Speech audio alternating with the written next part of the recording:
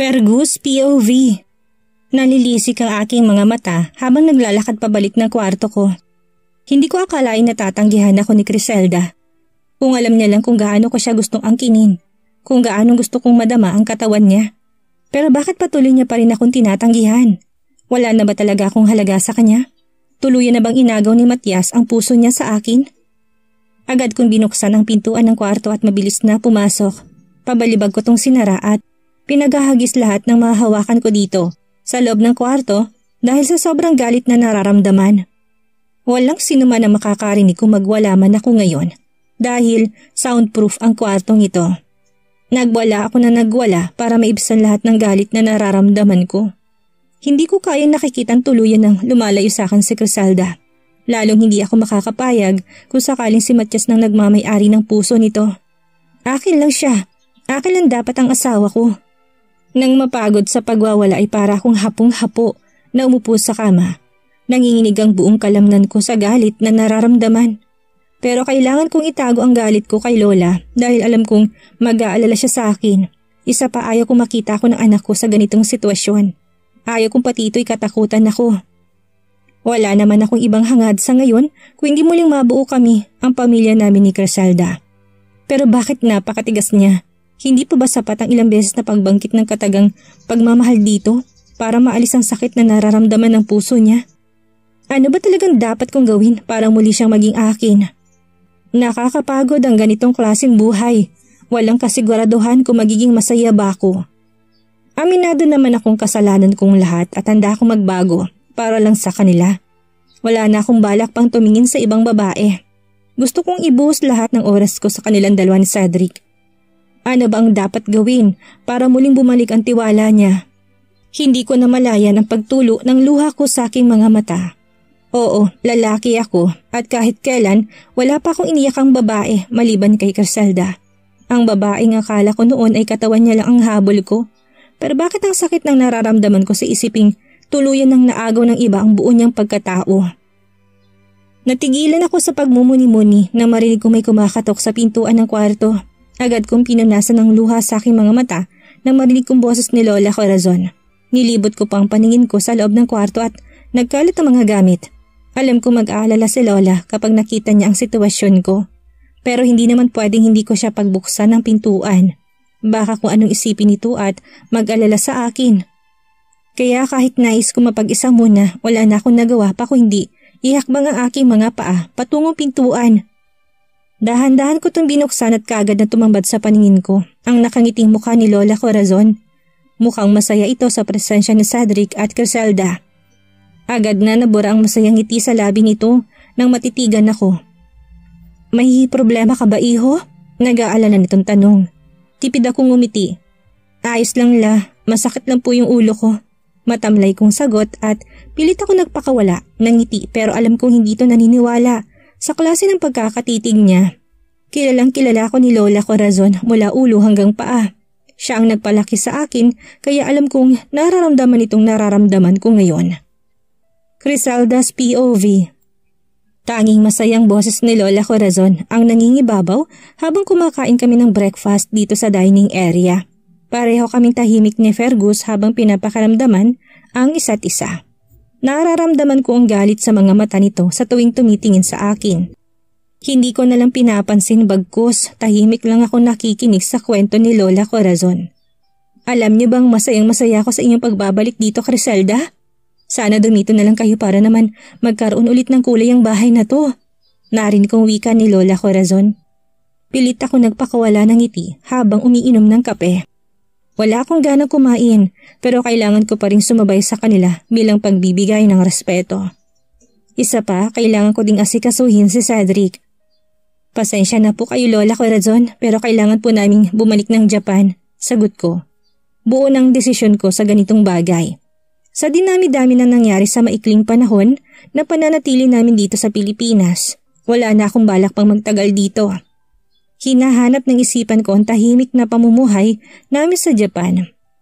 Agad kong napansin ang pagtigil ni Lola Corazon sa pagkain. Ibinaba nitong hawak na kutsara at tindor, saka ako tinitigan. Hindi ka na ba talaga papipigil pa, Criselda? Baka naman pwede pang magbagong isip mo. Sagot nito. Napayuko ako. Nakaramdam ako ng guilt na muling titigan ng malungkot na mukha ni Lola Corazon. Pero wala na akong magagawa pa. Pakaramdam ko kapag nagtagal pa kami dito sa Pilipinas, lalong magiging magulo ang lahat. Ang gusto ko lang naman mamuhay ng tahimik at payapa at sa Japan ko lang yun matatagpuan. May stable job ako doon at kayang-kaya kong ibigay lahat ng pangangailangan ni Cedric. Sorry po, pero buo na po yung desisyon ko. Mahina akong wika. Agad kong napansin ang pagtitig sa akin ni Fergus. Bakas ditong hindi maisatinig na galit at kitang-kita kong paghigpit ng paghawak nito sa kanyang kutsara. Hindi ko to pinansin na tinuon ang aking tingin. Sa tasa na may lamang kape. Don't worry la, pwede pa naman siguro magbagong isip ni Criselda. Hindi pa namin na pag-uusapan ng maayos ang tungkol sa bagay na to. Mahina akong wika ni Fergus. Malungkot na tumango si Lola Corazon habang palipat-lipat ang tingin sa aming dalawa ni Fergus. Hindi na din ako kumibo pa hanggang natapos ang agahan na yon. Pwede ko bang makasama pa ng matagal ang apo ko ngayong umaga? Tsak na mamimiss ko siya. Kapag kuwan ay wika ni Lola Corazon. Bala ko na sana magpaalam na't babalik na kami sa kondo. Pero dahil napansin ko pa rin ang lungkot, sa mga mata nito'y pumayag na din ako. Pwede na sigurong dalawang oras na paghihintay. Agad na hinawakan ni Lola Corazon sa Cedric sa kamay at niyaya patungong garden. Naiwan naman kaming dalawa ni Fergus at hindi ko alam kung paano aasta sa harap nito. Bakas pa rin sa mga mata nito ang galit kaya hindi ko maiwasang mapabuntong hininga. Huwag mo nang bigyan ng false hope si Lola Corazon. Walang makakapigil sa amin sa pagbabalik sa Japan. Basag ko sa katahimikan na namagitan sa aming dalawa. Napansin ko pang pagkuyom ng kamao nito kaya hindi ko maiwasang makaramdam ng kaba. Bakit pa? Kung tutuusin kaya ko ibigay lahat ng pangangailangan niya mag-ina, Criselda. Ano pa bang kulang para lang manatili ka dito sa bahay? Ano pang dapat kong gawin para makalimutan mong sakit na binigay ko sa'yo noon? Bakas ang panggigigil sa boses ni Fergus na wika nito. Hindi ko kailangan ng pera mo para muling magpaalipin sa'yo, Fergus. Kaya ko magtrabaho para kumita at buhayin ang anak natin. Actually, wala ka namang dapat gawin eh. Wala kang dapat patunayan sa akin dahil noon pa man alam ko ng kakayahan mo. Pero kung gusto mo talagang tuluyan ako makalimot, hayaan mo muna ako ngayon. Hayaan mo ng panahon na magdesisyon kung para ba talaga tayo sa isa't isa. Seryoso kong sagot. That's bullshit, Criselda. Matagal na panahon na pinagkait mo sa akin ng tungkol kay Cedric. Sa palagay mo ba kaya kong tanggapin lahat ng sinasabi mo ngayon? No, ayaw ko muli kayong lumayo sa akin. Hindi ko na kaya maghintay pa ng another years para lang muli ko kayo makita. Uwi ka nito. Natigilan ako. Kitang-kita kong pinaghalong galit at pagsusumamo sa mga mata ni Fergus kaya hindi ko maiwasan na makaramdam ng awa dito. Aminado ako sa mga pagkakasalang nagawa ko sa iyo, Carcelda.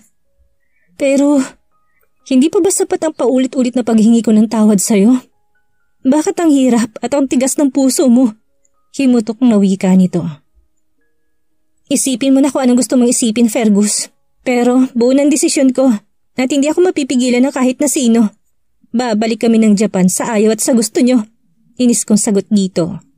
Padabog akong tumayot naglakad palabas ng dining room para sundan sila Cedric at Lola Corazon. Ngayon ko lang napatunayan na tuluyan na nawalang pagtingin mo sa akin, Criselda. Ang bilis mo naman akong palitan sa puso mo. Tuluyan ka nang naagaw sa akin ng gago kong kaibigan. Wika nito na halata ang paghihinagpis sa boses. Isinali na naman niya sa usapan si Matias hindi ko to pinansin, bagos ay tuluyan ako naglakad palayo dito. Agad kong hinanap si Cedric sa garden at nang mapasin ko na nasa gilid ng pool ito kasama si Lola Corazon, agad ko silang nilapitan. Cedric, let's go. Uwi ka ako. Sabay pa silang lumingon ni Lola Corazon sa akin. Agad kong napansin ang pagtutol sa mga mata ni Lola Corazon pero hindi ko yun pinansin bagkos pilit ako nagpakawala ng ngiti. Sorry po la, bibisita na lang po ulit kami kapag may time. May pupuntahan po kasi kami ni Cedric. Nagpapakumbaba akong imporma dito. Alanganin itong napatango habang napapansin kong bahagyang pagtulo ng luha sa mga mata. Hindi ka na nga talaga papipigil pa, Criselda. Kung ganun wala na akong magagawa pa kung hindi hayaan ka. Hihintayin ko muli yung pagbabalik. Malungkot nitong wika habang may luhang tumutulo sa mga mata nito. Sorry po la, Wika ko dito at hindi ko na mapigilan pa ang aking sariling yakapin nito. Agad na yumubyog ang balikat nito, paladandaan ng pag-iyak kaya hindi ko mapigilan ang sarili kong mapaluha na rin. Sorry la, sorry po. Pabulong kong wika dito, naramdaman ko naman ang paghaplos nito sa likod ko. Kaya napahagulhol ako. Naiintindihan ko iya. Lagi mong tatandaan. Wala akong kahit nagalit na naramdaman sa'yo sa kung anumang desisyon ang gusto mong gawin ngayon.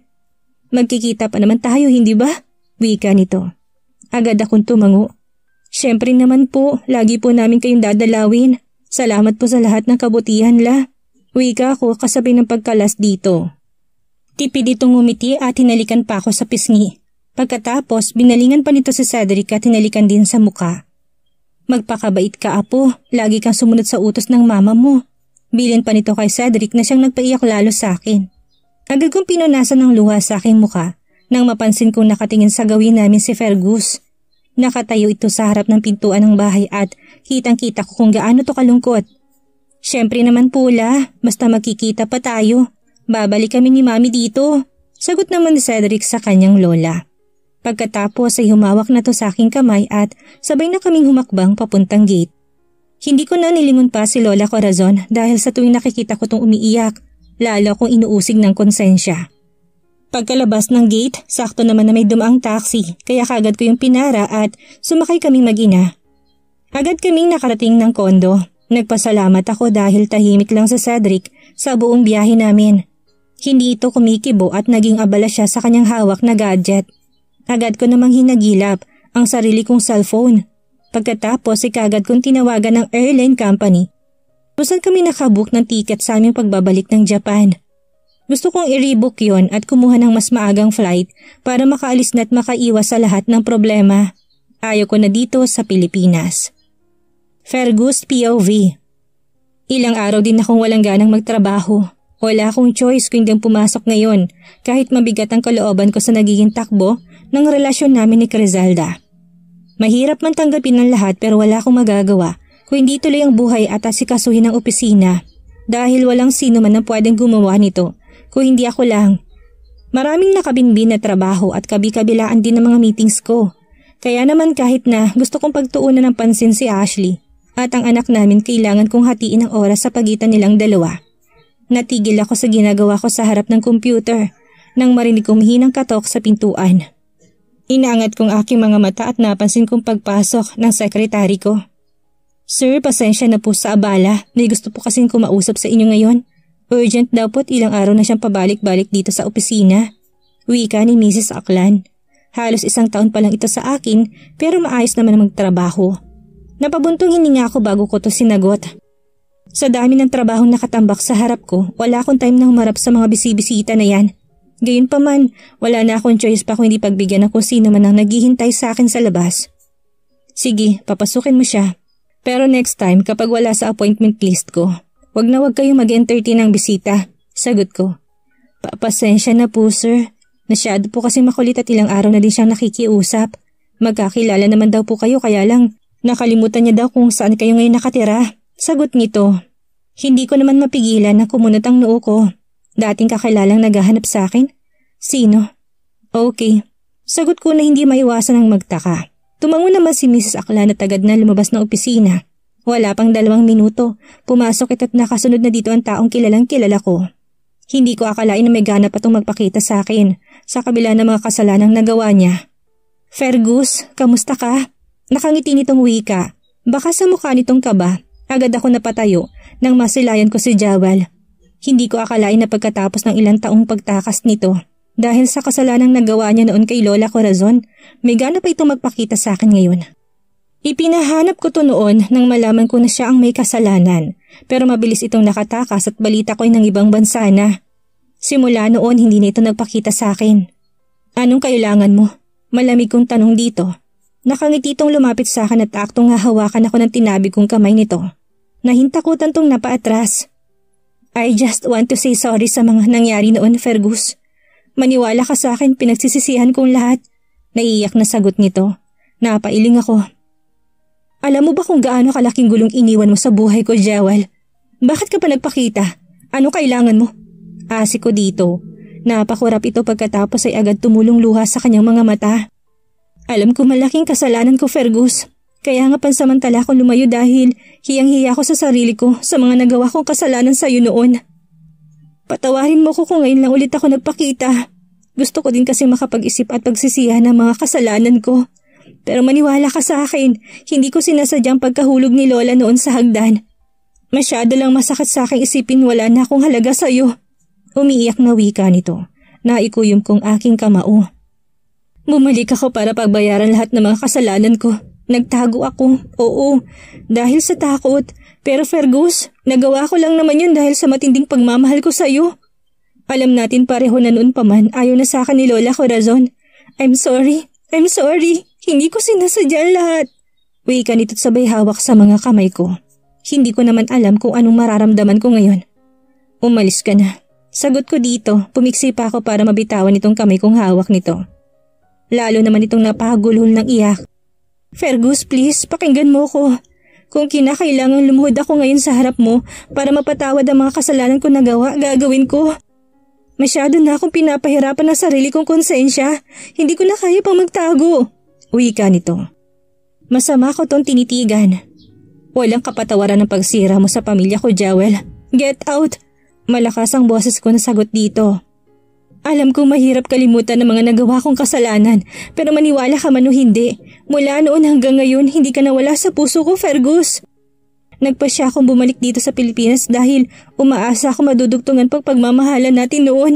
Sagot nito. Hindi ko maiwasan na mapangisi. Talaga naman, ang lakas pa rin ng loob nitong sabihin sa akin ang katagang yon. Anong palagay niya sa akin? Basta-basta na lang kalimutan na lahat? Na parang wala lang at maling ibalik kung ano man ang meron kami dati. Hindi na kita mahal. Akala ko nung mga panahon na mas pinili mo ko kumpara kay Matias, mahal pa kita. Pero nagkamali ako. Si Criselda nang gusto kong makasama habang buhay. Sana hindi ka na lang bumalik, Jewel, para tuluyan ko na makalimutan ang ginawa mong mga kasalanan sa akin. Kay Criselda. Seryoso kong sagot. Gulat naman tong napatitig sa akin. Hindi, hindi totoo yan. Mga bata pa lang tayo, magkakilala na tayo. Nagsumpaan tayo noon na magsasama habang buhay. Bumalik ako dahil sa'yo. Alam kong galit ka lang kaya mo nasasabi sa akin ang bagay na yan. Umiiyak na sagot nito. Agad akong umiling. Umalis ka na. Nonsense ng pinag-uusapan natin. Matagal ko nang kinalimutan lahat ng kasalanang ginawa mo kay Lola. Pero gayon pa man, hindi hindi ko makakalimutan na ikaw ang dahilan. Kaya nasirang pagsasama namin ni Criselda. Ikaw ang dahilan kaya hindi mabuo-buong pinapangarap kong pamilya. Seryoso kong sagot. Mahal mo na ba talaga siya? Ganun lang ba kadali sa iyong baliwalain ng ilang taon natin pagiging magkasintahan? Tanong nito. Ikaw ang unang sumira noon, Jewel. Kung hindi ka sana tumalikod sa kasal natin at sumama kay Matias, Baka hindi ko makilala si Criselda. Hindi sana siya nagdusa sa mga kamay ko. Pero tapos na yun. Kalimutan na natin ang lahat at magsimula. May anak na kamit patuloy ko pa rin siyang sinusuyo para bumalik sa akin. Kaya please lang, ito na sanang huli mong pagpunta dito sa opisina. Kalimutan mo na magkakilala tayo at maghanap ka na ng taong pwede mong makasama habang buhay. Sagot ko dito. Narinig ko naman ang paghikbi nito pero wala na akong pakialam. Tinuro ko pa ang pintuan upang palabasin to. Get out! Seryoso kong wika. Napailing ito. Fergus, please. Bigyan mo naman ako ng time na i-prove ko sa'yo na mahal na mahal kita. Pinagsisisihan ko lahat ng mga pagkakamali ko. Wala akong ibang hangad kung hindi ikaw lang. We're not getting younger. Gusto ko nang bumuo ng pamilya at wala akong ibang gustong makasama habang buhay kung hindi ikaw lang. Mahaba nitong wika. Umiling ako. Wala nang pag-asa pa, Jewel. Matagal ka nang kinalimutan ng puso ko, sagot ko. Bakit hindi natin subukan? Paano kung hindi ka niya mapatawad? Paano kung ayaw niya na talaga sa'yo? Fergus, nandito ako. Handa kitang pagsilbihan habang buhay. Umiiyak nitong wika. Umiling lang ako dahil ni Katiting wala na ako nararamdaman pa na kahit ano sa kanya. Matagal na siyang burado sa puso ko. Out! Get out! Sigaw ko dito. Wala na akong time pa para makinig sa mga lumalabas sa bibig nito. Lalo itong napaiyak at mabilis na naglakad palabas ng opisina. Nanghihina naman ako napaupo. Hindi ko akalain na sa ilang taon na pananahimik ni Jewel, nigana pa tong bumalik na parang walang nangyari. Kung noon pa siguro to nagpakita sa akin, baka naipakulong ko na to dahil sa ginawa niya kay Lola. Malaki ang kasalanang nagawa niya lalong-lalo na kay Criselda. Si Crisaldang napagbintangan ko noon sa pagkakalaglag ni Lola sa hagdan na siyang dahilan ng pagkakakulong nito At hanggang ngayon, alam ko yun ang dahilan kaya hindi na bumalik pang tiwala ni Criselda sa akin. Ako din naman, gusto ko ng tahimik na buhay. Pero hindi ko alam kung paano paamuhin ng isang taong gusto nang lumayo sa akin. Hindi ko alam kung magiging masaya pa ba ako at mabubuo pang pamilyang inaasam kong buuhin. Na minsan ko nang sinira dahil sa katangahan ko noon. Pinindot kong telepono sa harap ko at nagsalitang sumagot sa kabilang linyang aking sekretary. Pumasok ka dito sa opisina ko Seryoso kong utos dito. Pagkatapos ikagad kong pinatay ang tawag. Wala pang ilang minuto narinig ko ng mahina nitong pagkatok kaya kagad ko tong inutusang pumasok. Next time, ayaw ko nang papasukin mo pa sa opisina kung babaeng kalalabas ng kanina. Hindi ko siya kilala at sayang lang ang oras sa kanya. Seryoso kong wika. Pasensya na po sir, hindi na po maulit. Sagot nito habang nakayuko. Hindi ko na to pinansin pa at inutusan na tong lumabas ng opisina ko. Ano ang gagawin ni Fergus ngayong tuluyan ng lalayo si Criselda kasamang anak nila? Magawa pa kaya niyang mapaamo ang asawa? Si Jewel. Anong gagawin nito para muling makapasok sa buhay ni Fergus? At anong malalaman ni Matias tungkol sa kalagay ni Criselda na lubhang ikakagulat niya? Yan ang ating aalamin sa susunod nating kabanata.